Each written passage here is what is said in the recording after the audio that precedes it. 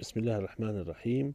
معكم Excellent Academy وسوف نشرح لكم مسائل إضافية في مقررات ال chemistry آه، مثل ما أنتم شايفين آه، في هذا السؤال طالبين في آه، معادلة كيميائية molecular equation موزونة total ionic equation و net ionic هذه المفاهيم إحنا شرحناها في مقطع فيديو سابق وستلاحظون إنه الرابط رابط الشرح موجود في أعلى الفيديو وكذلك موجود في وصف الفيديو في في الوصف أسفل الفيديو. نأتي الآن إلى ال molecular equation. ال molecular equation هي مثل ما شرحنا في الفيديو السابق هي إحنا نحط المعادلة على شكل molecule على شكل جزيئات مثل مثل ذلك عندنا مغنيسيوم هيدروكسيد وصيغة المغنيسيوم هيدروكسيد راح تكون ام جي أو اتش اثنين زائد ال nitric acid HNO three سهم. طيب آه، حنشوف إن المغنيسيوم هيدروكسيد راح يكون aqueous ال HNO3 راح تكون aqueous طبعا مثل ما شرحت في مقطع الفيديو السابق راح يكون هذه عبارة عن تبديل. يعني الأول راح يروح مع الثاني والثاني والثاني راح يروح مع الأول. فشو بتصير عندنا المعادلة؟ بتصير عندنا mg NO3 زائد H2O نيجي الآن وزن المعادلة. فالمغنيسيوم هون تكافؤه كم راح يكون ثنائي. لأن نيجي نكتب الصيغة مثل ما إحنا مثل ما إحنا شرحنا في مقاطع فيديو مقاطع فيديو سابقة إنه كيف كيف إحنا نكتب آه، صيغة المركبات. فالاثنين هذه تكافؤ المغنيسيوم. وال OH تكافؤها كم؟ راح يكون واحد. فحتصير عندنا هون Mg معناتها ال Mg راح تاخذ كم؟ تكافؤها اثنين. نيجي هون مثل ما شايفين ال HNO3 تكافؤها كم؟ واحد. فراح يصير عندنا هون كم؟ اثنين. بعدين نيجي إحنا نحسب هون مجموعة مين؟ مجموعة ال NO3 ال NO3 هون كم؟ واحدة وهون اثنين. فلازم يصير نضربها كم هون الرقم نضرب في اثنين.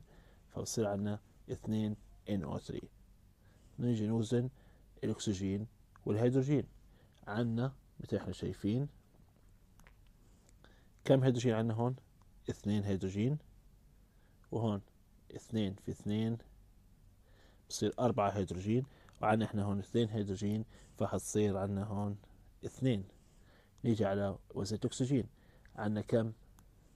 اثنين في واحد أكسجين فصار اثنين أكسجين.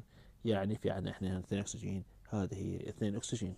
وهذه راح تكون aqueous وهذه راح تكون liquid. وهذه الموليكولر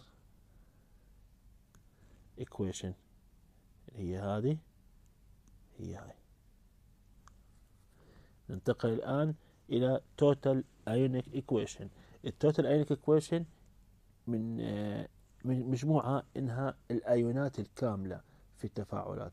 يعني الأيونات من ناتجة ناتجة عن تفكك ال molecule تفكك الجزيئات.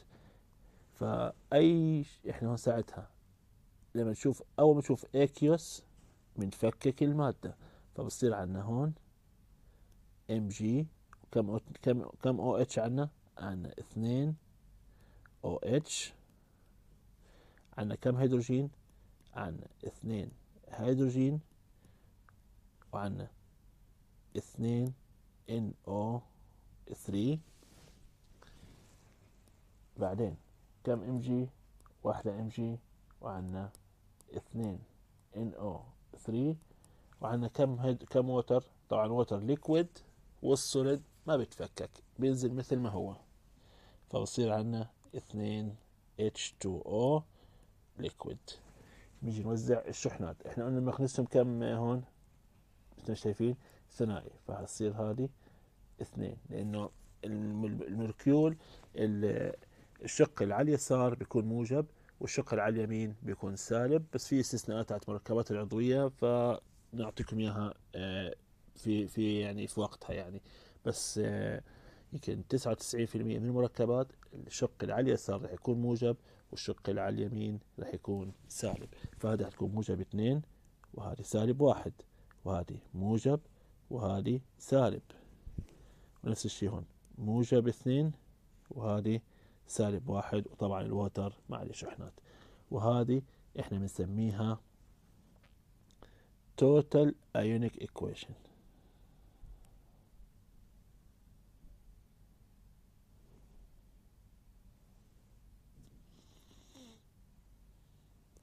بنيجي على بعديها على مين؟ net ionic equation ال net ionic equation مثل ما شرحناها هي آه الخلاصة خلاصة التفاعل. يعني التفاعل الرئيسي اللي في التفاعل أو المكونات اللي تكونت فيها. يعني لما نيجي نشوف التفاعل هذا فراح نشوف إنه في تفاعلات على اليمين هي نفسها على اليسار. اللي إحنا شو بنسميها؟ بنسميها بنسميها spectator ion مثل شو؟ رح نشوف هون. المغنيسيوم هون موجودة هون. بنشوف ال NO3 هون موجود NO3 هون.